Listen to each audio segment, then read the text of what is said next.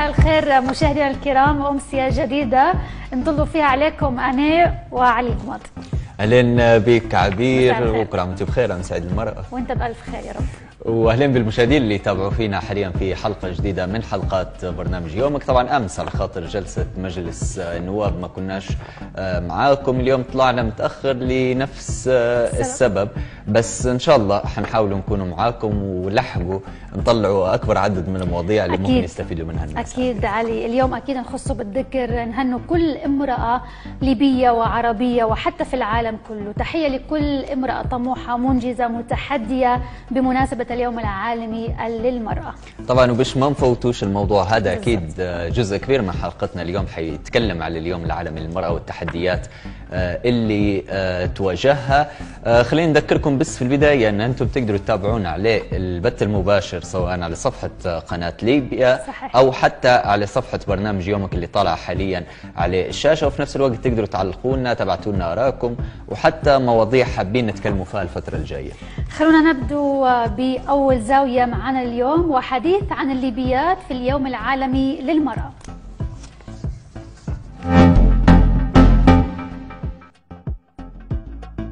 طبعا الاحتفال بيوم المرأة السنة هذه كان تحت شعار المرأة في الصفوف القيادية لتحقيق مستقبل من المساواة في عالم كوفيد 19 الشعار ركز عليه المساهمة الكبيرة للمرأة في القيادة على كافة المستويات وعبر جميع القطاعات وأهمية دمج المرأة في صلب خطط التعافي المحلية والوطنية والإقليمية وحتى العالمية. مزبوط علي هذا اليوم يذكرنا في كل عام أن نعمل جردة حساب لواقع المرأة وحقوقها وطموحاتها أيضا للحديث عن هذا الموضوع. يسعدنا أكيد حتكون معنا الأستاذة خديجة البعيشي وهي ناشطة حقوقية وذات باع طويل في مجال دعم وتمكين المرأة وهي غنية عن التعريف أيضا. مساء الخير أستاذة خديجة.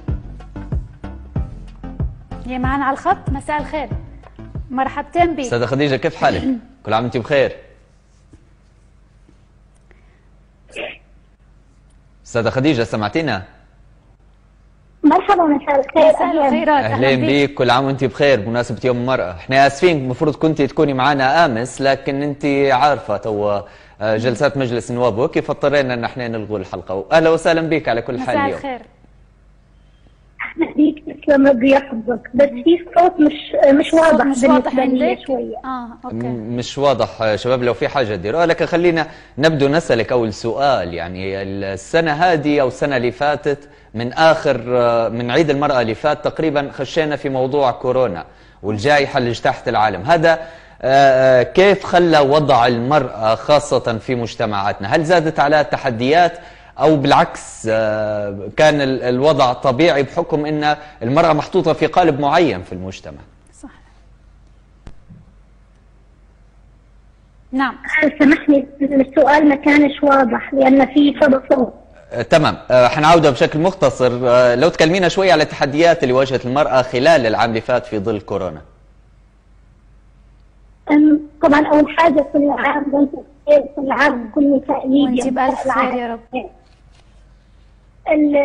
أعتقد أن اليوم العالمي للمرأة هو يوم لتقييم ما وصلنا يعني هو نحتفل بما أنجزناه ونقيم اللي وصلنا له. نعم. السنة الماضية كانت سنة تحديات بالنسبة للنساء على أكثر من مستوى. مم. من ناحية الحجر ال- خطر كورونا النساء عددهم كبير آه، في الأطقم الطبية آه، في المستشفيات وكممرضات. مهم. بالإضافة إلى زيادة العبء المنزلي يعني آه، الحضانات أغلقت المدارس مظبوط. أغلقت فالأطفال موجودين في البيت طول الوقت مهم. بالإضافة لالتزامها إذا كانت سيدة عاملة ف- فكان ضغط مضاعف عليها آه، أيضا آه، من الناحية الاقتصادية المشاريع الصغيرة اللي تقودها النساء تضررت جدا بسبب كورونا لأن مظبوط. كان في حظر تنقل وأغلب هذه المشاريع كانت تعتمد على مسألة التوصيل صح. للزبائن فكان في صعوبة. مهم. بالإضافة للسيدات اللي هم الأكثر تضرر من الحرب وزادت كورونا زادت وضعهم سوء. النابحات فقدات المعيل اللي ما عندهاش مصدر رزق أيضا تضرروا من كورونا. فكل هذه التحديات مزبوط واجهتها النساء أعتقد بشجاعة لأن نلاحظوا إن في زيادة لعمل منظمات المجتمع المدني تعرض الاطقم الطبية. السيدات في المستشفيات استمروا في العمل. برغم من إن في خطر كبير عليهم ولكن استمروا في في أماكن عملهم. نعم. بالإضافة لالتزاماتهم المنزلية كما ذكرت سابقا. نعم. طيب أستاذة خديجة يعني نعلم بأن المرأة الليبية لديها لديها تاريخ كبير جدا من آه، الكثير من السنوات لغاية يومنا هذا. كان لها دور في آه، كل المراحل اللي مرت بها ليبيا سواء كانت تاريخية أو الاقتصادية أو حتى الاجتماعية. في الثورة كان لها دور في آه، فيروس وجائحة كورونا أيضا كان لها دور. لماذا عندما تصل بس إلى نقطة ربما أن تصل إلى دور قيادي كبير سواء كان في ربما نقولوا في أدوار قيادية في الحكم أو في المناصب زي ما نقولوا القيادية والسياسية. لا نجد مرأة موجودة ربما القليل النادر يعني. هذه الإشكاليات إن الأدوار اللي تقدمها النساء خاصة في حالات عدم الاستقرار. تنسى عند محاولة أو عند توزيع أو اقتسام نتائج هذه المراحل. نعم. يعني وصول المرأة للمناصب القيادية دائما تواجهها تحديات مظبوط. بشكل كبير. تحت عناوين مختلفة. نعم. مثل ماذا هذه العناوين؟ مثل ماذا؟ على فكرة. نعم. تهاجم المرأة التي تحاول أنها تكون موجودة في لماذا المرأة أثبتت حقها في كل المجالات؟ إذا لماذا هذا الهجوم؟ ومن من؟ برأيك؟ لأن عندك منظومة بطريقية لازالت قائمة على فكرة أن الرجل هو أحق بالقيادة أها أوكي. هذه بالإضافة التفسير الدينية المغلوطة لإقصاء المرأة. مضبوط زيد على هذا الأعراف الاجتماعية التي قد تقع. جدا الآخر أن الهجوم الذي يوجه ضد المرأة هجوم يتجاوزها. يعني هم شو هجومهم لها وفي أسرتها المجتمع لا لا ينصرها لا يدعمها في مواجهة هذا الهجوم نعم. فتلقى روحها إنها مضطرة انها تاخذ خطوة إلى الوراء. هذا الحجم تجاهها يواجه أو يقابل عدم وجود دعم وردع لهذه المفاهمه. طيب. اعتقد إن ممكن في اليوم العالمي تذكير بأهمية أن نمكن النساء وندعمهم وأن نوقف معهم. تمام. أنا حابب فرصة. إيه. أنا حاب بس نضيف حاجة لكلامكم اللي توصل سواء من عبير أو حتى منك أنت أستاذة آه، خديجة. هو آه، إن في نقطة مهمة جدا إن النساء في كورونا كان عندهم نسبة كبيرة من الإنجازات وهذا أكيد معروف للعالم كله. لكن الشيء المؤسف أن في هلبة نساء تعرضوا لعنف كبير وهذا اللي تقارير دولية؟ آه، نظرا للحجر المنزلي فالنساء طول الوقت في المنزل وأزواجهم أو حتى أخوتهم أو حتى أبائهم كانوا موجودين في المنزل فتعرضوا زادت نسب العنف المنزلي بشكل كبير. خلينا باش نكملوا في السياق هذا. آه باش نرجعوا نناقشوا النقطة هذه وحتى نقاط ثانية لكن خلينا ننوه بس على آه ورشة العمل أو الإيفنت اللي دارتها آه درتوه أنتم مع منظمة الأمم المتحدة وبرنامجها الإنمائي اللي استعرض دور الليبيات خاصة في مواجهة فيروس آه كورونا. خلونا آه شوية نشوفوا من الفعالية ونرجع نكملوا معك أستاذة خديجة. أكيد المرأة لها دور كبير داخل داخل وزارة الداخلية سواء كانت داخل وزارة الداخلية أو أي مؤسسة من المؤسسات الحكومية للدولة.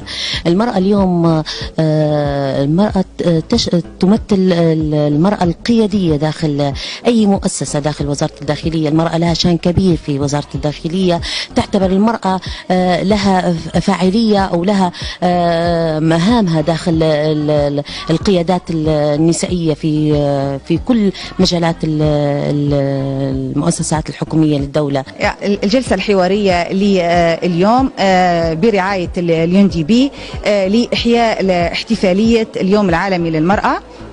نقولوا لكل آه، نساء العالم كل سنة وأنتم طيبين وللمرأة الليبية خاصة دمتي قوية دمتي ناجحة دمتي مميزة تتغلبي على كل الصعاب طيل الفتر فترة العشر سنوات من أزمات وحروب متتالية. للمرأة دور فعال كبير سواء على المستوى المحلي أو المستوى الوطني. لذلك نقول للمرأة دور فعال على المستوى المحلي على المستوى الوطني.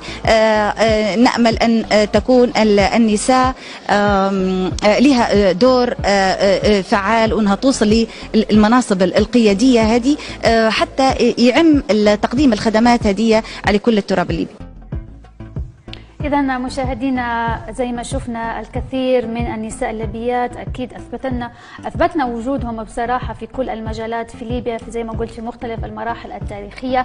أستاذة خديجة ما زلتي معنا؟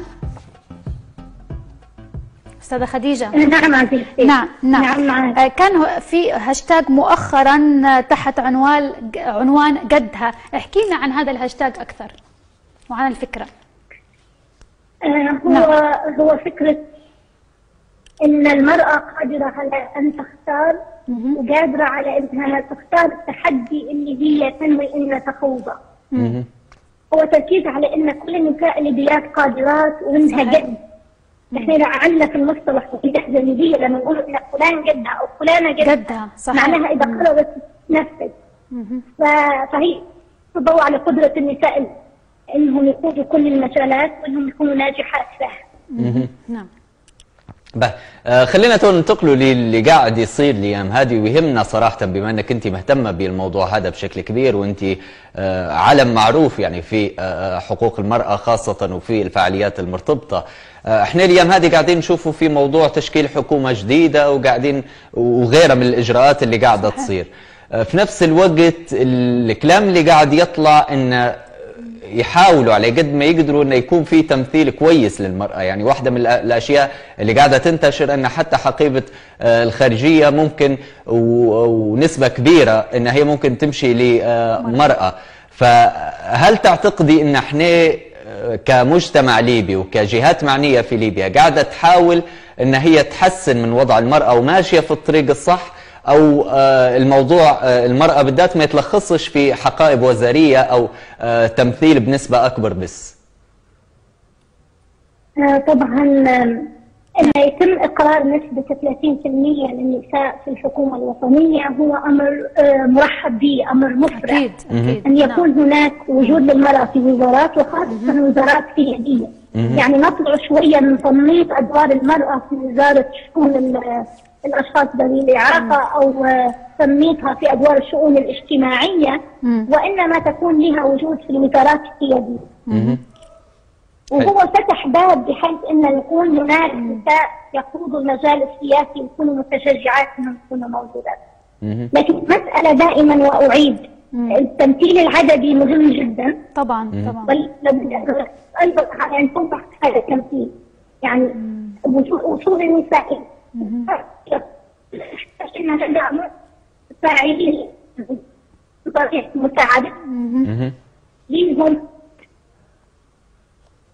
نعم. الصوت غير قضايا النساء المتضررات من الحرب من فقد المعين من يعانوا من ازمات اقتصادية اللي يحتاجوا لتنفيذ لضحايا العنف غيرها من قضايا المرأة لابد أن تكون مطروحة على مستوى صنع القرار نعم. طيب يكون هناك سياسات وقوانين نعم أستاذة خديجة الوجود العددي مهم ولكن نشتغل على الموضوع أيضا نعم تسمعي فينا كويس؟ ما سمعتكش؟ تسمعي فينا كويس؟ احاول اسمع فيه. إيه تمام. طيب آه ربما هذا السؤال هو آه شيء واقعي آه بشكل كبير يعني. أعتقد هناك تناقض كبير في المجتمع خاصة في المجتمع الليبي. يعني المرأة موجودة زي ما تكلمنا وقادرة على كل الأدوار وحتى القيادية منها. بينما في الجهة الأخرى الكثير من القوانين القضايا الخاصة بالمرأة لم تفعل. ربما أحيانا يكون في بعض العيب أو الاستحياء إن نحن نتكلم في بعض المواضيع الخاصة بالمرأة إلى يومنا هذا. ما رأيك في هذا التناقض؟ وهل هذا التناقض لم يوصل المرأة ليومنا هذا إلى أي منصب قيادي ربما؟ معك لأن مشاركة المرأة على الأرض لم يكن هناك توازن معها في هذا الدور. القوانين. نعم. يعني إلى هذه اللحظة ما زال هناك العديد من القوانين التمييزية ضد المرأة. صحيح صحيح. بدءا في حق السيدات اللي هي هي من جنسيتهم بأبنائهم مرورا بتبرير جرائم القتل ضد النساء. وأيضاً والعنف وغيرها من القضايا. نعم نعم صحيح. بالإضافة لعديد من النصوص هذه النصوص التمييزية تحتاج إن حملات قوية لتعديلها. صحيح. وفي أول ما يجتمع البرلمان لابد أن تكون أجهزة المرأة لتعديل القوانين جاهزة في تعديلها. مهم. صحيح.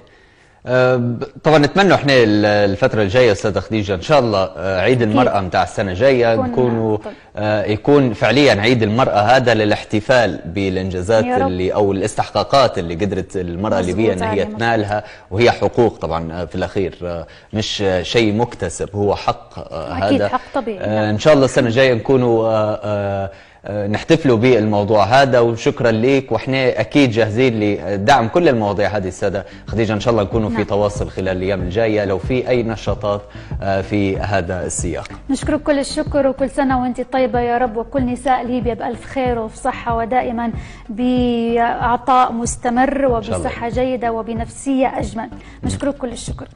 طبعا موضوع المرأة بشكل كبير إحنا نركزوا عليه في آه، برنامج يومك من وقت طبعاً. للتاني آه وانت تعرفي طبعا عبير ديما في المواضيع هذه بالذات صار عيب آه طبعا. في حتى في قناة ليبيا في برامج ثانية زي قادرات وزي هيك كلهم يهتموا طبعاً. بالمرأة بشكل كبير. آه هذا نظرا لأهمية المرأة في المجتمع. قادرة على التغيير بشكل كبير في شتى الأمور يعني. بالضبط. يكفي أنا كوجهة نظر شخصية آه، يكفي إن المرأة يعني إحنا في ليبيا معروف قطاع التعليم هو اللي اسس في أجيال طبعاً، والمرأة هي اللي والناس. اليوم اللي شادين مناصب كبيرة وهيك في يوم ما كانوا يقروا في مدارس. المدارس هذه إحنا نعرفوا إن المدرس الرجل يمشي يوقع ويطلع ما ياخذش بجدول.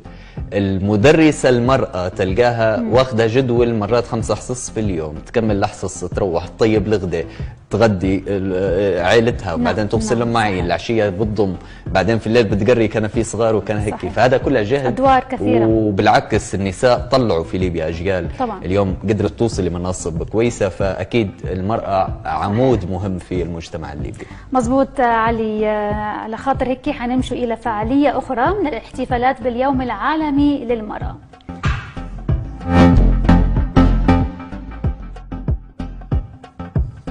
تحت شعار امرأة متعلمة متمكنة تحفظ القيم وتصنع التغيير.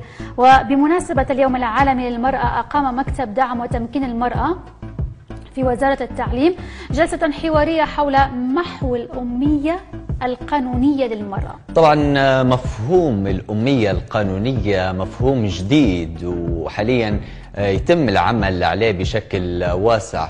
الجلسات أو الجلسة الحوارية تناولت المشاكل والعراقيل اللي تواجه مواصلة المرأة في تعليمها العالي في ليبيا وتخلت الجلسة الحوارية حلقات نقاش حول محاور الجلسة وفي نهاية الاحتفالية تم تكريم عدد من النساء الرائدات في ليبيا. طبعا باش يكون الموضوع واضح لنا أكثر حنتكلموا على الفعالية هذه مع الدكتورة أمال المالطي مديرة مكتب دعم وتمكين المرأة في وزارة التعليم. أهلا وسهلا بك أستاذة أمال. أستاذة أمال. مساء الخير. أستاذة أمال مساء الخير. أستاذة أمال سمعتينا؟ ممكن في مشكلة في الخط؟ في الصوت. نعم. آه، زي ما حكينا يعني آه، الأمية أو محو الأمية القانونية للمرأة. المرأة لازم حتى باش تتقدم من خطوة إلى أخرى حتى تصل إلى طموح أو أي أكيد بالضبط. هدف آه، عندها. الأستاذة أمال معنا أمال الخير. سمعتينا ألو السلام عليكم وعليكم السلام. ورحمة الله مرحبتين بك أهلا وسهلا بكم مشاهدينا الكرام وشكرا بك. لكم على إتاحة هذه الفرصة أهلا وسهلا وإن بك. شاء الله كل سنة وأنتم وانت طيبين بألف خير يا رب وأنت طيبة يا رب. كل مرأة على في ليبيا وفي العالم أجمع أكيد. إن شاء الله يا رب إن شاء الله يا شكراً رب. لك. أستاذ أمال خلينا نبدو آه، في البداية من مفهوم الأمية القانونية يعني إحنا بحسب مقدمة الخبر قرينا أن أنتم خصصتوا الموضوع في آه، التعليم العالي لكن هل هذا كل شيء يعني الأمية القانونية أو في جوانب ثانية تشملها؟ آه، طبعا شكرا لكم زي ما قلنا وإحنا آه، طبعا آه، إحنا مكتب دعم وتمكين المرأة آه، طبعا ليها من 2017 وإحنا نشتغلوا على المرأة. ولكن اللي اكتشفناه من خلال تجربتنا في العمل المرأة هو إن المرأة ينقصها جانب مهم جدا وهي معرفتها بالقوانين وخاصة قانون العمل ومعرفتها بحقوقها وواجباتها. وإحنا آه، خصصنا هذه ال- الاحتفالية لعده جوانب وأهمها اهتمينا بالمرأة آه، ومحو الاميه القانونية للمرأة وأطلقناه مشروع سنة 2021 حلو. آه، من خلال وابتدأنا فيه يعني من بداية السنة. مهم. آه، والحمد لله وفقنا في الجزء الأول يعني نفذنا الجزء الأول منه في ثلاث شهور في الشهرين اللي فاتوا وإحنا وما زلنا مستمرين. نعم. وإن شاء الله هذه السنة حتكون محو الأمية القانونية وأصدرنا كتيب صغير. هو دليل محو الأمية القانونية للمرأة العاملة. وهذا يكون فيه تعريف البسيطة المعلومات ال- ال- اللي مفروض كل سيدة لازم تطلع عليها. من خلال يعني شنو يعني قانون العمل شنو هو حق العمل شنو هو قانون العقوبات في العمل حلو. نعم. آه الإجازة ال- يعني كل التفاصيل هذه. المفروض نعم. كل سيدة تقدر لابد على المرأة أن هي تطلع عليها نعم طيب أستاذة أمال لك يعني حضرتك كأمرأة ربما الكثير من المواضيع هذا الكتيب يتطرق إلى آه، مواضيع كثيرة تخص المرأة من الناحية القانونية أكثر موضوع آه، بحسب رأيك يجب أن تطلع عليه المرأة خاصة في الفترة الأخيرة ما هو؟ بالنسبة للمرأة العاملة هو يجب- عليها أن تطلع على قانون العمل. قانون حتى العمل. تعرف واجباتها وحقوقها قانون العمل. علاش لأن حتى تضمن حقوقها وتفعل بعض الأشياء اللي الله سبحانه إلا يعني القانون الموجود فيها. يعني مثلا قانون العمل قانون لم يفرق بين الرجل والمرأة. صحيح. قانون العمل يعني أعطى للمرأة بالعكس امتيازات عليها تستفيد من هذه الامتيازات نعم. زي امتيازات مواصلات زي امتيازات الحضانة زي ساعة الرضاعة نعم. وغيرها. يعني المرأة بالنسبة لل وقانون العقوبات سوا بين المرأة والرجل. يعني فيه أشياء. علينا إن على كل مرأة ان هي تعرفها بس حتى تستفيد منها لأن مظبوط. أي قانون أي قانون غير مفعل بالنسبة لها يعتبر هو زي الأساس اللي غير مستخدم. صح. بالضبط يعني عندك بيت وعندك فيه كل شيء وغير مستخدمة غير مستخدمة هذه الأدوات فهو تعتبر هذه أشياء لا قيمة لها. فإحنا حاليا محتاجه المرأة إن هي تعرف هذا القانون وتطلع عليه. وتعرف ما لها وما عليها. طيب هل درتوا قبل ما ت- تبدوا في برنامج زي هذا درتوا تقييم لمعرفة النساء بالحقوق اللي ليهم شن ليهم وشن عليهم خلينا نقولوا لأن آه، ديما القوانين هيك ب- على الشخص وعليه ومعاه في نفس الوقت هل درتوا تقييم. للنساء العاملات وشفتوا مدى معرفتهم بالقوانين؟ إيه نعم آه، طبعا آه، درت بالنسبة لنا إحنا كمكتب ممكن زرنا أغلب أغلب المناطق في ليبيا شرقا وغربا وجنوبا. حلو. وخاصة الجنوب والغرب. الشرق وصلنا إلى مرحلة إلى مكان الوسط ولكن اللي اكتشفته إن المرأة أصبحت المهم تتوفر لها فرصة عمل. ولكن كيف إن هي تحاول إن هي تضمن حقوقها؟ هذا الشيء بعيد جدا عن المرأة أغلب النساء. وخاص يعني لدرجة إن هي حتى ق- حتى العقد التي وقعت عليه لم تطلع عليه ما اطلعتش عليه. لهذا وجدنا إن المرأة محتاجة إلى معرفة هذه القوانين. فلهذا ركزنا على وخلينا إن حتى في خطة العمل وض- وضمنتها حتى في خطة وزارة التعليم. هو التوعية القانونية للمرأة العاملة أي لابد. من المحو الأمية القانونية عند المرأة العاملة. نعم. عندما نتحدث هذا عن جانب مهم. نعم نعم. عندما نتحدث زي ما قلتي حضرتك أست- أستاذة أمال عن ال- الحقوق أو حقوق المرأة في شتى المجالات. من الناحية التعليمية هل تشوفي بأن ربما المجال التعليمي المرأة واخدة في حقها أو لا؟ أنا بنقول لك أنا سعيدة جدا بالمرأة الليبية من هذا الجانب. لماذا؟ أثبتت نعم. المرأة الليبية أثبتت المرأة الليبية إن هي جديرة جدا.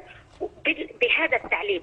صراحة هي تعتبر أصبحت في أعلى وصلت إلى أعلى الدرجات العلمية وصلت إلى أعلى الدرجات الإدارية في نعم. وزارة التعليم طبعا.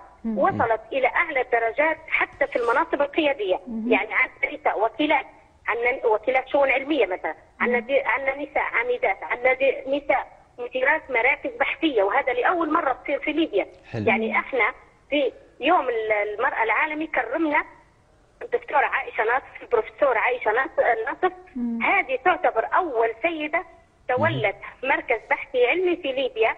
حلو. وهي بجدارة يعني دخلت مع الرجل ولكن كان في تكافؤ الفرص وهي اللي خدتها بجدارة يعني مش محاطه أو لأنها مرأة أو نسبة أو لا. يعني خدتها بإمكانياتها وتحصل على جوائز. علميه سواء كانت داخل ليبيا أو خارج ليبيا وعندها براءة اختراع وعندها يعني. وهي هي شخصية وصلت إلى درجة علمية عالية. لهذا إحنا إن شاء الله سمينا سنة حسنة هذه السنة في يوم المرأة العالمي وقلنا إن لابد أن نهتم بالمرأة الباحثة. يعني ودرنا جائزة حتكون إن شاء الله سنة حسنة في كل عام على المرأة والبحث العلمي. حلو. صحيح والسنة هذه أعطيناه لهذه الدكتورة مم. اعطينا للدكتورة عائشه نصر حلو. وإن شاء الله السنة الجاية ممكن يكون في تخصص آخر يعني سنة ممكن تاخذ المرأة والبحث العلمي في القانون. السنة اللي بعدها تاخذ المرأة والبحث العلمي في علم الاجتماع. وهكذا. ما بين نعم. العلوم حلو. الإنسانية والعلوم التطبيقية أو صحيح. العلوم ال- نعم نعم. الأخرى. حلو. به. وإن شاء الله ربي يوفقنا يعني. إن شاء الله يا رب. و- وهذا بالعكس بادرة كويسة. هلبة لأن آه، فعليا في السنين اللي فاتت بدأنا نشوف تطور هلبة يعني سواء عليه آه، فترة من الفترات تم تعيين قاضيات جدد آه، في سلك القضاء. تم نعم. فغيرها غيرها في في مكتسبات لازم نسلط الضوء عليها بشكل كبير. لو جينا إحنا تو لازم نظهر معلش لو إيه. سمحت شوي بس إحنا تفضل. لازم. نظهر المرأة الليبيه بصورتها ال- بالضبط. الحقيقية صح. يعني المرأة الليبيه المرأة موجودة ليست هي المعلمة والإدارية فقط صح. بالعكس ومع احترامي للمعلمات هذوم هم. إحنا كنا ربوا مجموعة جيال. من معلمات وكنا صح. معلمات وغيرها لكن المرأة الحمد لله اشتغلت على نفسها وطورت نفسها واصبحت قادرة على أن هي تتوقع أي صحيح منصب إيه. وني من هنا بنقول رسالة لكل المسؤولين. المرأة الليبية موجودة المتعلمة. صح. المرأة الليبية عليها أن تثق في نفسها ويثق فيها الآخر. صحيح. حتى آه، تستطيع أن تصل وهذا و- وإحنا كوزارة التعليم عندنا تجربة ناجحة وتعتبر فريدة من نوعها. لهذا عندنا أكثر من عشر سيدات مديرات إدارة ومديرات مراكز وهيئات وكذا. ونجحوا بامتياز يعني نجحوا بجدارة أفضل حتى من الرجال إيه. بشهادة الوزير السابق والوزير الحالي. يعني به. المرأة عندها إمكانيات ولكن صح. تحتاج إلى فرصة نعم، تحتاج نعم. لفرصة وحتى حاجة تانية. هذا سؤالي الجاي. محتاجة لأن هي تعرف شلها وشنعلاها وتح وتحتاج لدفعة يعني من الأساس. أنا هنا يا تو بما أنك أنت يعني آه، من وزارة التعليم. وهذا شغلكم يعني في وحدة دعم وتمكين المرأة في ال- الوزارة. يعني في الأساس ليش ما يكونش في المناهج التعليمية أشياء تعلم. حتى لو كان المرأة ما كانش عندها طموح إن هي تكون في مناصب وظيفية أو تشتغل حتى لو كانت ربة منزل. مفروض إن هي تعرف حقوقها من لما تكون في المدرسة في البداية. هل الموضوع هذا مطروح انه يتم إدخال آه، آه، حقوق المرأة وواجباتها أساسا في المجتمع آه، داخل المناهج التعليمية حتى ولو بجزئية بسيطة؟ آه، بارك الله على سؤالك هدايا ويرحم الله والديك على هذا السؤال المهم. نعم. إحنا مشكلتنا في ليبيا هي مشكلة تربية. مهم.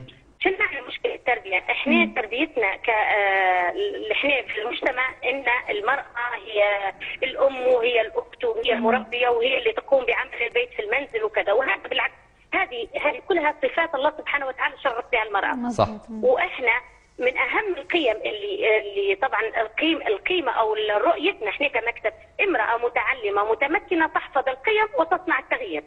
يعني هذه القيم إحنا مش حنتنازلوا عليها وإحنا كنساء فخورين بها لأن هذا دور الله سبحانه وتعالى أعطاه للمرأة وكذلك الرجل. صحيح. فإحنا قدمنا مقترح لمعالي الوزير السابق الدكتور عثمان قلنا إن في بعض ال ال يعني الدروس اللي فيها صورة نمطية للمرأة. يعني مثلا أبي يزرع الحقل امي تغسل الملابس أو أمي تغسل مش عارف شنو نعم، وأمي كذا. نعم، صور نمطية. الأشياء، الصورة النمطية الصورة النمطية هذه حاولنا قدمنا فيها مذكرة لمركز المناهج واتخذوا فيها الإجراء وبالعكس ألغيت بعض ال- ال- الصور أو الدروس اللي فيها صورة نمطية غير لائقة للمرأة بالعكس العمل بالبيت هو للرجل والمرأة على السواء والعمل في الخارج الحمد لله المرأة تشتغل في الخارج زيها زي الرجل. وإحنا كمكتب دعم وتمكين المرأة لا ندعو للمساواة المطلقة لأن المساواة المطلقة هي تضر المرأة أكثر ما تنفعها. بالضبط. يعني المرأة مظبوط. عندها امتيازات عليها إن نحافظوا عليها ولكن كذلك علينا إن إحنا نقيم هذا المفهوم الخاطئ. يعني المرأة مثلها مثل الرجل. الله سبحانه وتعالى قال في كتابه العزيز خلق الإنسان في أحسن تقويم. الإنسان صحيح. هو الرجل والمرأة. يعني المرأة لا ينقصها شيء. صحيح. بالعكس المرأة هي ممكن الله أعطاها امتيازات أكثر من الرجل وتستطيع أن هي تفكر بشمولية أكثر. ولكن ما نقللش من قدر المرأة وما نقللش من. قدر الرجل. بالعكس إحنا شركاء. إحنا شركاء. يعني أنا شريكة الرجل في العمل. أنا شريكة له في البيت. يعني لاز- لازم الحياة هيك باش يصير فيها توازن. مم. نعم صح. آه، دكتورة أمال أكيد يسعدنا وجودك معنا اليوم وكل سنة وأنت طيبة. وربي يعطيك الصحة على هذه رسالتك رسالتك العظيمة في مجال التعليم ودعم المرأة في كل مكان وزمان. شكرا لك كل الشكر. أكيد طبعا. شفنا مبادرات حلوة قاعدة تصير في آه، وزارة التعليم لدعم المرأة وتمكينها بشكل كبير. وحلو الكلام الأخير الجزئية الأخيرة صحيح. إن آه، بالعكس في حراك أكثر من إحنا نتصوره على تنميط آه، صورة آه، المرأة بشكل عام وحطانها في قالب معين أو في زاوية آه، معينة. أو في زاوية معينة وترويج. وهو إحنا آه، فعليا اللي في العالم كله صاير هذا اللي صاير انه صورة نمطية طلعت من شخص بدت تتروج من مكان لمكان لين خلاص رسخت في دماغات ربما الناس حتى كنا زمان إيه. وإحنا صغار هذه الصورة النمطية موجودة في التعليم وفي المراحل التعليمية لكن أعتقد بدأت تتغير يعني. وإن شاء الله يعني من أكيد. الأفضل وافضل أكيد. علي حنمشي الفاصل؟ نمشي الفاصل. فاصل قصير وراجعين معكم هو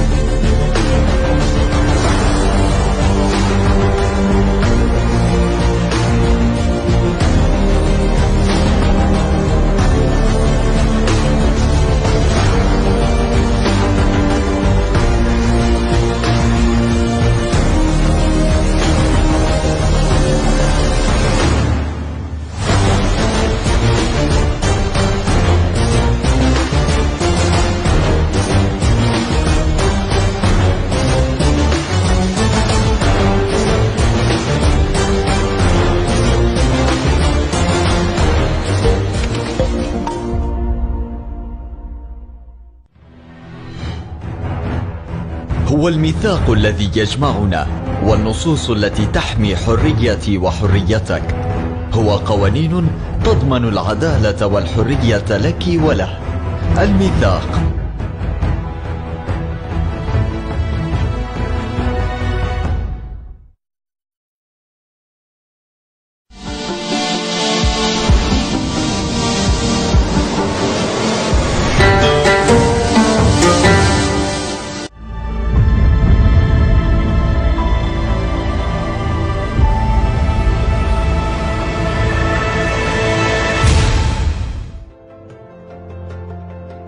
مجمع ليبيا للدراسات المتقدمة ينظم إحياء الذكرى الثامنة والثمانين لوفاة السيد أحمد الشريف السنوسي رحمه الله.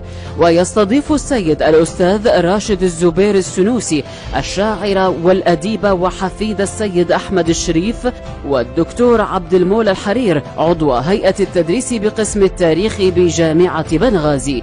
والدكتور أحمد محمد جاد الله عضو هيئة التدريس بجامعة عمر المختار. يدير اللقاء الأستاذ سامي الجوادي على منصة زوم بتاريخ الأربعاء العاشر من مارس 2021 على تمام الساعة السابعة مساء بتوقيت ليبيا. لمتابعة اللقاء والمشاركة. يرجى الدخول إلى موقع مجمع ليبيا للدراسات المتقدمة على الويب وعلى الفيسبوك. للحديث حول السيد أحمد الشريف ولادته قيادته للطريقة السنوسية جهاده ضد الاستعمار مغادرته ليبيا نشاطه خارجها المهام التي تولاها إقامته بمكة المكرمة. وفاته وإضاءات على مؤلفات السيد أحمد الشريف.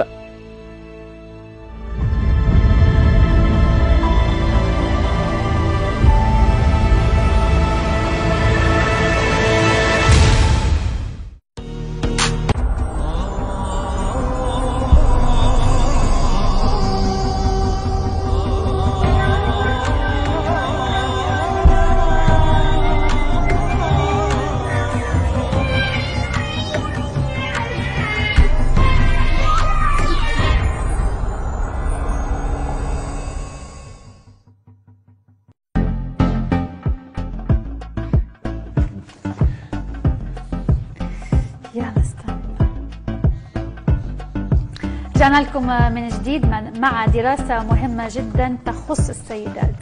دراسة اليوم تكشف أو كشفت عنها منصة منصة Road Safety UAE.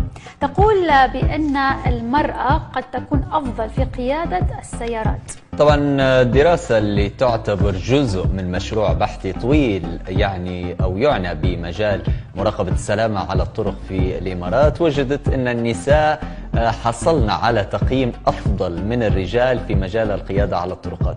وبحسب الدراسة كانت النساء السائقات أقل تورطا في حوادث المرور من الرجال. وفي مثال على ذلك كشف استطلاع للمنصة عام 2020 أن هناك فارق بنسبة 4% في نسبة الحوادث بين الرجال والنساء 21% للإناث مقابل 26% للذكور. فيما يخص استخدام مؤشر الاتجاه أظهرت الدراسة أن النساء أكثر استخداما لمؤشر الاتجاه من الرجال عند تغيير المسار أو مغادرة الطريق الرئيسي أو الدخول على الطريق السريع والتحول عند التقاطع. وتفوقت الإناث بنسبة 71% مقارنة ب 65% للذكور. كما كشف التقرير على أن نسبة والنسبة الأكبر من الإناث تملك أنظمة أمان ملائمة لتقييد حركة الأطفال في السيارة من خلال استخدام طبعا مقاعد الأطفال. طبعا عبير أنت فرحانة. أكيد. لقيت الدراسة أيضا أن الإناث أقل ارتباكا بشأن اختبار مقعد الطفل المناسب أو اختيار مقعد الطفل المناسب لأطفالهن. الإناث أقل اعتقادا من الذكور بأن مقاعد الأطفال باهظة الثمن.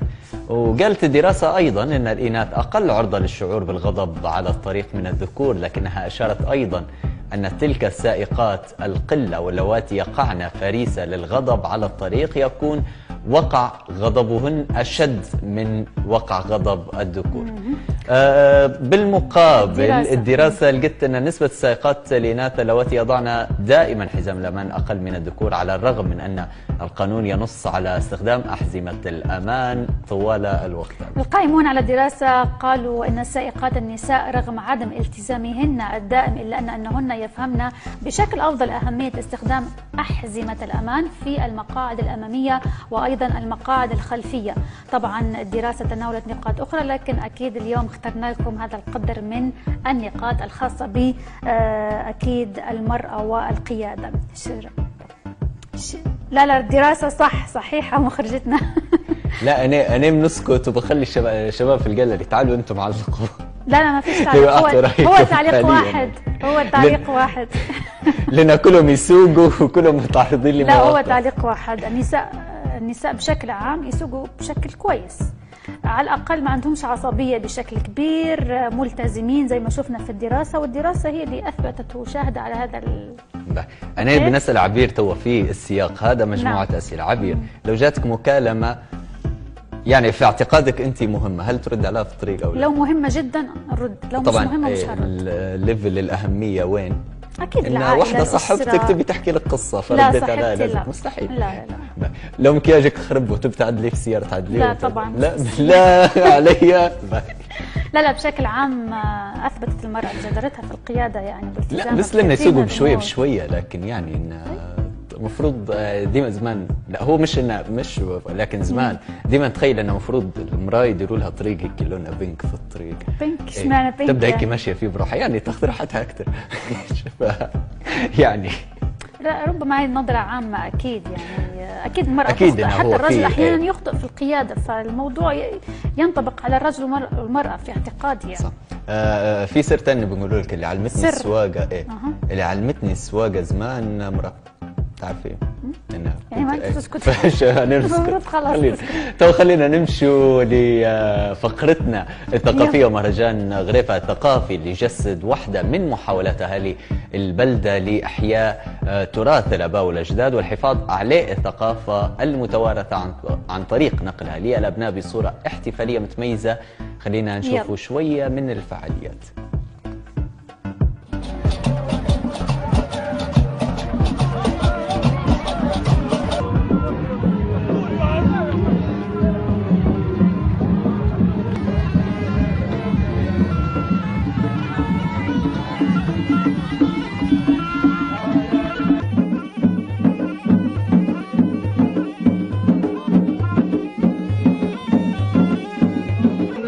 حاضرين واللي غاب نبعث له سلام.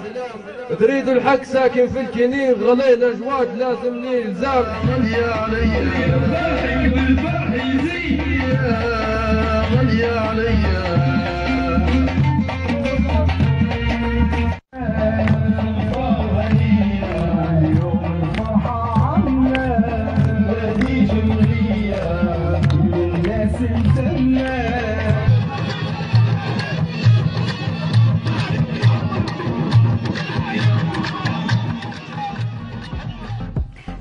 أكثر عن هذا المهرجان الجميل مع ضيفنا الأستاذ مختار القوة رئيس اللجنة العليا لمهرجان الغريفة للفنون والتراث في دورته الرابعة. مساء الخير. أهلا وسهلا بك سيد مختار. الخير عليكم ومرحبتين بكم. مرحبتين بك. انستونا وبارك الله فيكم. الله يخليك يا رب. تسلم. أهلا وسهلا وأنت انستنا أيضا. شفنا ما شاء الله آه، الاجواء من المهرجان كيف كانت وربي يعطيكم الصحة عليه. يعني الناس محتاجة حاجات زي هيك في الوقت أكيد. الحالي. آه، طبعا هذه الدورة الرابعة لكن آه، كلمنا شوية على المواضيع التقنية. هل قدرتوا هو نفس الوقت هذا من كل سنة تديروا فيه في المهرجان؟ هذا والسنة هذه كانت مختلفة آه، شوية بسبب الظروف. بداية السلام عليكم ونحب نرحب ونشكر قناتكم الموقرة على هذا الاستضافة وعلى الضوء على هذا المهرجانات مهرجان الغريب في البطولات في دورته الرابعة المهرجان هذا من في دورته الرابعة. في 2016 كانت الدورة الأولى. في 2017 كانت الدورة الثانية. في 2018 كانت الدورة الثالثة. حلو. آه، توقف الدورة في 2019 2020 نتيجة الظروف اللي تمر بها الدولة والكورونا. الآن حاولنا أن تكون غير آه، عن سابقاتها ويكون مهرجان ذو فعالية ويكون مهرجان آه، ذو قدرة. الحمد لله تمكنا بإقامة هذا المهرجان. المهرجان كان يعني قبل كان يكون قبل في آه، في بداية ديسمبر في بداية دي- ديسمبر من كل سنة. آه. لكن نتيجة للظروف نتيجة اللي التنسيق والتنظيم مع الجهات ال- الداعية والراعية اللي نحن توجهنا لمدينة طرابلس وكان المتوجه ل- لوزارة الثقافة. اللي هي الآن هي الآن يعني الداعمة يعني من من من أول من كان أعطانا لنا قرار من مهرجان غريب المنظمات للأسف الشديد ما نتمكن من دعم منهم هم لكن حاولنا نتوجه إلى جهات راعية تكون راعية للمهرجان وداعمة الحمد نعم. من الله تم تحديد لله. من 6 إلى 8 مارس 2021 حلو نعم آه، ربما هذه الدورة الرابعة أستاذ مختار هل كان في أنشطة جديدة ربما لم تكن في السنوات الماضية؟ نعم نعم. نعم في الدورة هذه حاولنا أن تكون متميزة عن الدورات السابقة نعم. ركزنا أن يكون كل لوحات الفنية داخل المهرجان تكون تراثية فنية أصل من أهل المنطقة من أهل الجنوب. نعم. وجميع وجميع الفعاليات المهرجان كانت متنوعة جدا جدا. الفترة الصباحية في اليوم الأول تم افتتاح المعارض معرض المقتنيات الشعبية والأزياء التقليدية والصناعات التقليدية وال- والحياكة والتطريز والمعارض حلو. الحلو والحار طبعا لا يقدر عليكم أستاذ مشعل مدني من كافة انحاء ليبيا كانت مشاركة معنا في هذا المهرجان. الفترة الفترة على تمام الساعة الرابعة من أول اليوم تم الانطلاق الرسمي أو إعطاء الإذن الرسمي كما ترون امامكم الان في الشاشة نعم. لبدء المهرجان لإشعال الشعله لانطلاق المهرجان رسميا. حلو. الحمد لله الحمد وفقنا الله لله. أن يكونوا بهذه الحال كما تشوف أمامكم بهذه الحافل وهذا الحضور الشيق وهذا الحضور الحضور الرائع تميزت الفرق الفنية والمشاركات الشبابية من داخل حلو. المدارس المنطقة الموجودة في نطاق الوادي واللي من خارج منطقة طوبالي. الحمد لله في اليوم الثاني تم افتتاح المدينة القديمة التي نعم. تجسد الحياة اليومية لمدينة غريفة. التي تعنى بالمحتويات الشعبية والإلعاب الشعبية والمزرعة الثانية كما نقولوا إحنا والتراث ال- العرس الفزاني والط- والطهور وكل ما يتميز أهل. المنطقة في ذاك الوقت نعم على تمام الساعة الخامسة كانت لنا ندوه ثقافيه تعريف مدور الغريفه وثقافة الغريفة وفنون الغريفة. في الفترة الليلية كانت الحفل فني الساهر تميز تميز هذا الحفل عن جميع أنحاء ليبيا، طبعا مدينه سبا كانت تميز بفرقه سرياب التي كانت أول مشاركه لها على مستوى الخط على مستوى الجنوب كانت معنا في هذا المهرجان. اليوم الثالث انطلقنا لأن تكون لنا لدينا مشاركة من الانديه الفروسية والمهاري والنجاح الفارقي في الفترة الخامسة تم توزيع الشهايد على المشاركين والأذرع للجهات الراعيه والداعمه لهذا المهرجان. الفترة الليلية بالامس قدمنا كان لدينا حفل فني ساعه أيضا من المهرجان. أنا والله اللي بقول إن المهرجان تميز عن سابقات إن كانت الفعاليات كلها جيدة. وممتازه جدا. يعني الآن كل من سكان أهل المنطقة مش أهل الغريفه فرحوا بأن يكون مهرجان زي هذا يعني من من من من, من سنتين. تبقى ويرجع نعم. من جديد. المواطن كما ترون في الجنوب يعاني يعاني صح، من الخدمات. ويعاني من أي شيء يعني يدعم المواطن. حبينا أن نركز على هذا الدعم النفسي حلو. يعني الدعم النفسي بهذه في مثل هذه المهرجانات. لكن توجهنا إلى الجهات اللي تكون راعيه أو داعمه لهذه المهرجان اللي هي المؤسسه اللي هي الهيئه العامة للثقافة. حبينا نعم. تكون هي اللي تكون راعيه لهذا المهرجان أو تخسر عليه الملايين كما كما نعرف لكن الحمد لله للأسف الشديد لم لم لم نكن لجان طاغيه لدعم مثل هذه المهرجانات في الجنوب. الحديث نعم. خلينا نسألك عليه آه، آه، المهرجان كيف تم؟ إحنا بحسب الصور اللي وصلتنا وتو قاعدين نشوفها إحنا والمشاهدين على آه، الشاشة أغلب الفعاليات أو كلها خلينا نقوله نشوفوا فيها ان هي في الخارج يعني في ال- الهواء الطلق. هل كان الموضوع هذا بسبب كورونا أو طبيعة البرنامج وشكله الأساسي كان هيك هو في في الخارج كله؟ نعم. يا أخي إحنا حبينا آه، حتى لما لما لما آه، توجهنا إلى الجهات ذات الاختصاص كان ديما دائما العقل يكون آه، اللي هو الكورونا وجائحة الكورونا. حبينا أن يكون المهرجان متميز كما تعرفون إحنا لدينا في الجنوب هواء طلق نعم. لدينا آه، أماكن مفتوحة حتى حتى المعارض في ثاني يوم كان في المهرجان كان في الخيم يعني كان مفتوح. ما كانش داخل اروقه المدرسة كما يكون قبل نعملوا فيه. حبينا إن يكون مهرجاننا كله مفتوح في الاواصر طبعا كما تشوفوا امامكم الان الكمامات موجودة ال- ال- الاجهزه التعقيم موجودة قياس الحرارة موجودة. الحمد لله الشكر للجنة ال- التي درست هذه الجائحة في بلدية الغريفه لهم الشكر. أيضا الهلال الأحمر كان حتى داعما معنا في وقوفنا ضد هذه الجائحه بارك الله فيك. نعم آه، عندما نتحدث عن أهالي الجنوب أستاذ مختار نعلم بأن يعني ربما تميزهم البساطة آه، بحكم المعيشة هناك. يعني هل كانت يعني ربما آه، البساطة تميز هذا المهرجان؟ نعم. مهرجان أهل الجنوب كما تعلمون واهل منطقة الغريفه نعم. كانت ك- أهل بسطاء يعني يعني تحافظ تحافظ الصدر بيوتنا كانت مفتوحة لكل الناس مظبوط، الحاضرين في جميع نعم تعاملنا معهم انه يكونوا أخوة معنا في احيائهم حتى سلمنا لهم مفاتيح قلنا لهم عيشوا معنا كأنكم أهل البيت. وإحنا الضيوف نعم.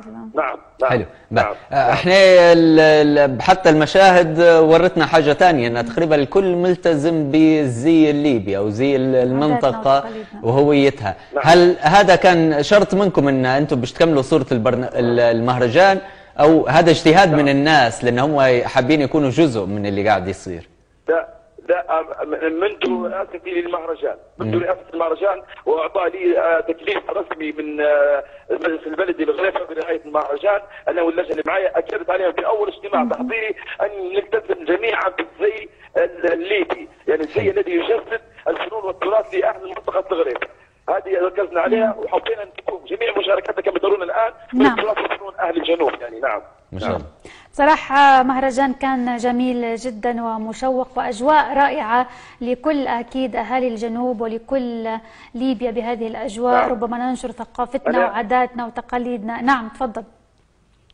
أنا نشكر آه،. قناتكم الموقرة التي. آه، تابعت هذه المهرجان وكانت لنا استضافه قوية رغم رغم إني عندي منامع على القنوات الليبيه يعني للاسف الشديد مثل هذا المجهود لن يضيع هباء منثورا يعني ناخذ. ثمن المناسب فقط الثانية أو الثانيتين فقط لكن أتمنى من من يستمع فيه الآن أن يركز على مثل هذه المهرجانات صح. أن يكون داعما لنا بنقل حتى الصورة المباشرة لأهلنا في الشرق أو في الشمال ليعرفوا إن أهل الجنوب لا لا يريدون المناصب ولا يريدون الكراسي بل يريدون أن يعيشوا في رخاء وفي أمان يعني الجنوب. على يتجزا جزء من من من من أكيد، من, أكيد، من, ما ليبيا. يعني الآن كما كما نرى المسؤولين يتقاتلون على الكراسي ونحن لا, لا نلعب بها يعني نعم نحن نحتاج لمن يدعمنا ثورتنا أكيد. التي لطالما أن ينتصر في هذا الوقت نعم أنا في نهاية كلامي حاب أركز على أن أن اشكر أن أشكر الجهات الراعية والداعمه لهذه المهرجان بأمانة نعم. كانت لها وقفة جاده كما ترون الآن. هذا هذا هذا العمل ما كان بوجود أهل المنطقة فقط لكن كان بجهات راعية وداعمة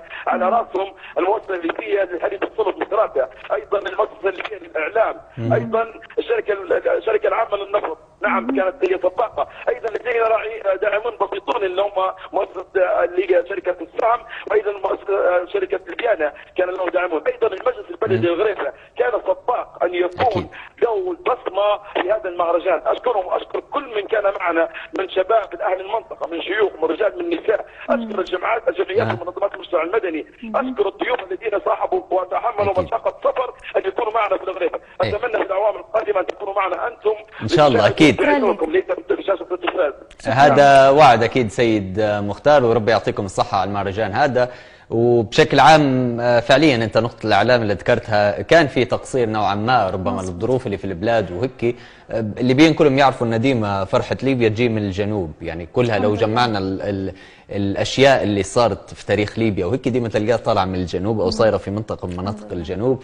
فهذا كل الليبيين تصور يعرفوا لكن إن التغطية ربما لظروف معينة. كان في تقصير لكن إحنا معاكم وأي حاجة فعالية تصير وهيك أكيد حنغطوها باللي. نقدروا عليه إن شاء الله.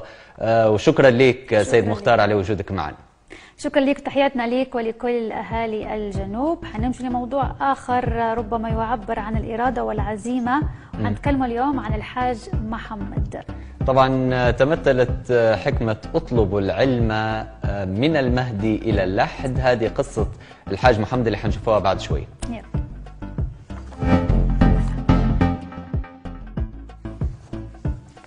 محمد الصيد حاج ليبي يقترب عمره من 80 عاما.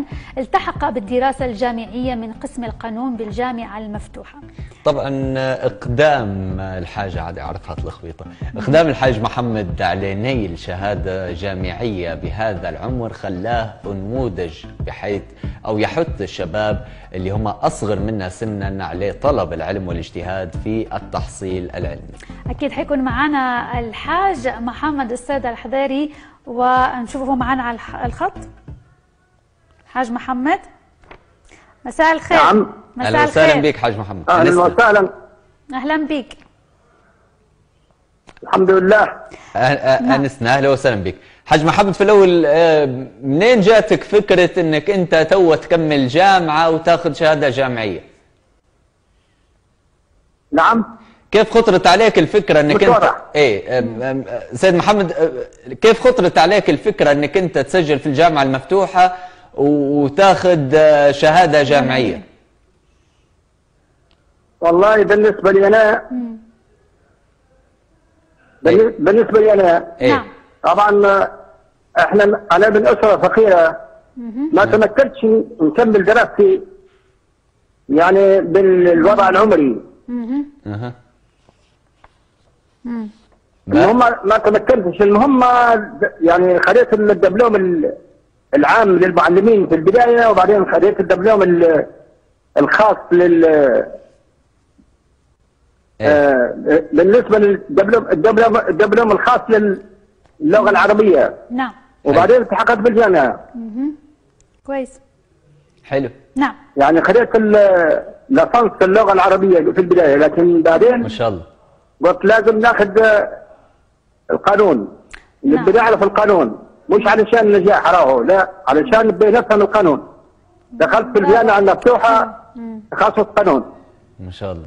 والحمد لله اشتغلت في المرحله بعون الله الحمد لله الحمد الحاج لله. بصراحة يعني العزيمة والإرادة والطموح وإنك أنت حاب توصل حتى لو كان ربما العمر ربما أكيد هو يكون في النهاية رقم فقط يعني آه، كل شيء واضح بعزيمتك وإرادتك وإنك أنت دائما آه، منك إحنا ربما نستمد القوة ونواصل المشوار حتى لو كانت السنوات بينا أو مرت بينا سنوات كبيرة. آه، طيب الحاج محمد يعني هل ما مريتش بموقف ربما في يوم من الأيام أزعجك آه، تعليق ربما في نفس الشيء؟ بالنسبة لرسولنا محمد صلى الله عليه عليه وسلم قال. تعلموا من المهدي إلى اللحد. مظبوط أكيد. مظبوط. مش شرط يعني الإنسان يقرأ وهو صغير لا هو اللي. يموت ويقرا صح. حلو. أنا بالنسبة للوطن العربي يسيب الدراسة لهذا السبب أصبح متأخر. صح. من الخليج للمحيط متأخر عن ركب الحضارة. مظبوط.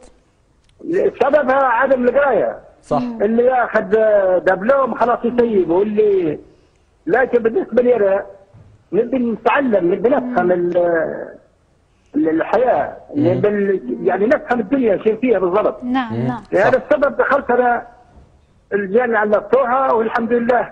الحمد لله. ماشي عند الأمور. الحمد لله. الحمد طبعا لله. هذه فعليا إن النقطة اللي تكلمت عليها يعني حتى لو كان آه، سيبوا القراية وحاولوا يطوروا نفسهم حتى برا أن شهادات علمية وهيك نقولوا ها نمشوا الموضوع. لكن هم يسيبوا في القراية ويسيبوا أي شيء له علاقة بال. بالقراية. حتى تثقيف نفسي آه،. آه، شخصي ما عادش فيه.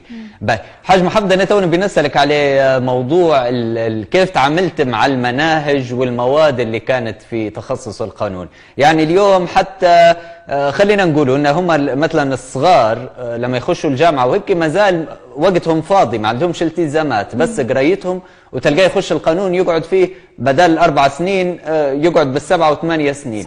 آه، طبعا صعوبة المناهج ما فيش وقت. انت مع كل التزاماتك كيف لقيت المواد اللي درسوا فيها؟ هل كانت سهلة بالنسبة لك؟ والله الموضوع احتاج منك جهد إضافي.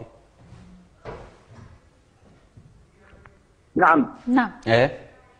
إيه سألتك على المواد اللي آه، قريتوها في القانون. هل آه، كانت سهلة بالنسبة لك؟ ولا فيها لا لا في نعم. هي مادة واحدة بس هذه. إيه. هي درت فيها امتحان وتمت. أها مادة واحدة. مادة واحدة هذه اللي كانت صعبة يعني شوي سميتها خلاص. باهي الحمد لله. آه، ليش اخترت القانون حاج محمد؟ ليش بتحب القانون؟ أو أو هل كان عندك من الصغر منذ الصغر ميول تجاه القانون؟ هو القانون مو شغول هو القانون القانون يعطيك الحقوق. صح. إذا معرفة كان ال- الحقوق. نعم. لأن لأن فيه قانون. الق- القانون وروحه بالنسبة نبي نفهم القانون وروح القانون.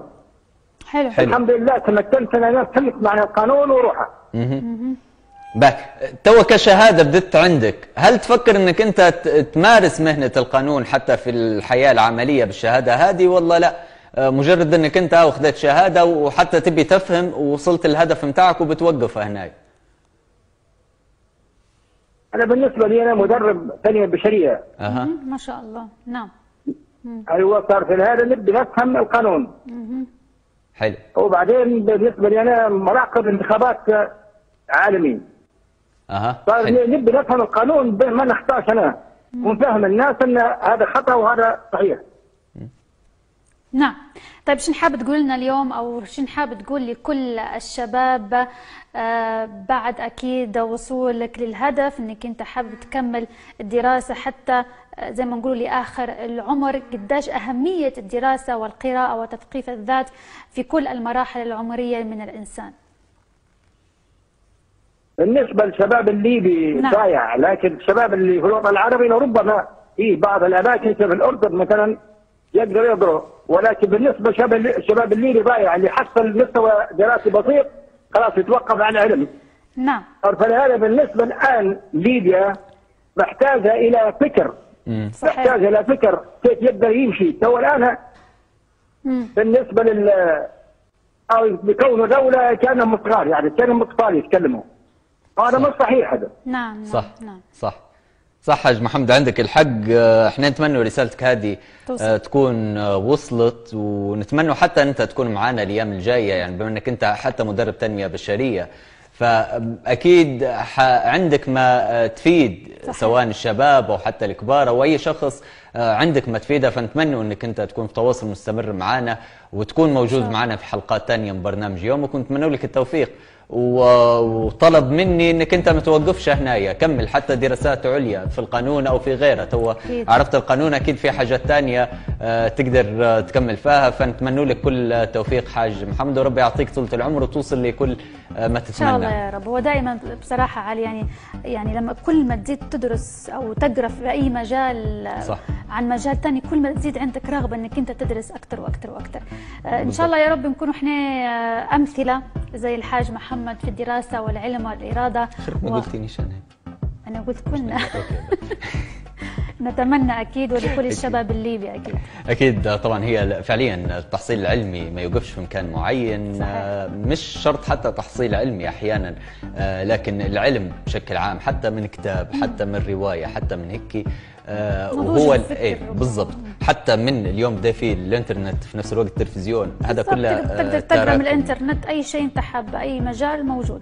بالضبط. واليوم بحسب ما نشوف يعني حتى في أماكن تانية من العالم ان حتى مقابلات الشغل وهيك إحنا مثلا في ليبيا ديما ينقصنا حاجة إن إحنا الليبيين ما تلقيهمش موجودين هلبا برا ليبيا في من ناس وصلت وخلت بصمة صحيح. لكن مش يعني مثلا. تمشي لأي دولة في العالم تلقي فيها توانسه انصار وغيرها غيرها صحيح، وتلقيهم. زي الرز زي ما نقول إحنا بلهجتنا العاميه إيه. ربما. لكن إحنا تلقي واحد اثنين ثلاثة بس ليبيين في آه، بيئة مليانة من كل الجنسيات سبب هذا طبعا لأن آه، مش لأن هم الليبيين أقل أكيد لا أو لا طبعاً، لكن طبعاً. خلاص يوقفوا عند حد معين صحيح. ويقعدوا واقفين في المكان هذاك فلا طوروا من نفسكم آه، كل العالم اليوم ده يشوف صح. عليه قداش الشخص عنده كم تراكمي من المعلومات ومن الخبرات في حياته وهذا كده شيء مكتسب مش من مقاعد الدراسة بس لكن حتى من قداش الشخص يتابع. قداش يقرأ وهلم جرة يعني أكيد ما فيش حاجة سهلة في الدنيا دائما أي تعب وراه نتيجة جميلة صح. جدا دائما نقول بأن نحن من نصنع الظروف أو نحن من نكون أقوى من الظروف مش العكس لأن ربما تجربة تجربتي أو تجربتك أو تجربة الكثير من الناس دائما الإنسان يكون أقوى من الظروف حتى يستطيع أن يكمل حياته بالشكل الصحيح. أكيد آه، طبعا عبير. تو حنخلوا الناس يرتاحوا شوية قبل ما يرجعوا لجلسة مجلس النواب تاني نشوفوا كنا قاعدين نستنى نشوفوا شنو يصير فيها. وإن شاء الله يطلعوا بحاجة فيها. خير للبلاد والعباد وللمواطن. و... إيه. و... ونكملوا الوضع اللي إحنا عايشين فيه من سنين ويكون الجاي أحسن بإذن الله. بإذن الله علي نخلوكم مشاهدينا مساءكم أسعد وإن شاء الله يا رب نشوفوكم على صحة وخير في حلقة أخرى. إلى اللقاء. إلى اللقاء.